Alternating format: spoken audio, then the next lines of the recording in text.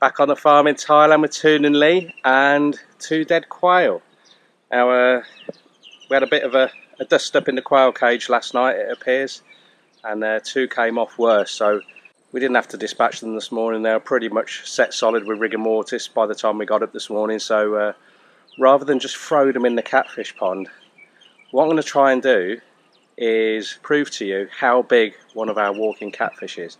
Well, two of them are big, but one of them is particularly huge. But I've never been able to get it on camera, so people do.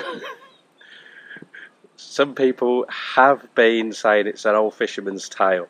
So what I'm going to do, I'm going to use, let me show you, one of my old fishing bank sticks I bought over from the UK that you normally put a rod rest on here. And uh, at one end we've got a little bit of a spike. So I know it sounds gory, but I'm going to skewer the two quail and pop them just down here. In this corner here, I've just had a trial slide down there. Um, because the water levels come up, my little ledge that I normally stand on to, to remove the hyacinth to use as a garden mulch, um, that, that's underwater now. Um, but I can just about get it to within six inches of the water. What I want to do is try and get some footage similar to the orcas that you see on the Discovery Channel, you know, when they, they beach themselves chasing the, the seals.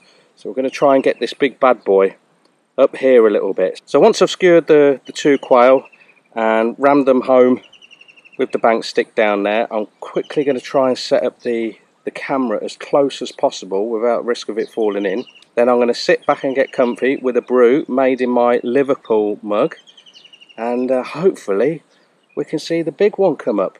There's a few catfish showing now, uh, but the big one, he seems to come late to the parties. What I might have to do is throw some pellet in this corner here just to get the activity going. Once the noise of the, the feeding starts, then the big one should come and then he should bully them out of the way and come right out of the water.